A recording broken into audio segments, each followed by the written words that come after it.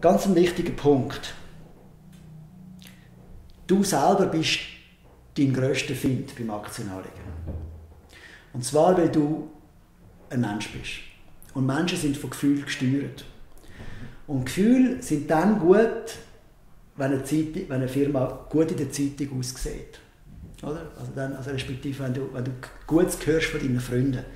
Das, ist aber auch, das sind aber auch die Firmen, die alle anderen gut finden. Und das sind tendenziell die teureren Firmen.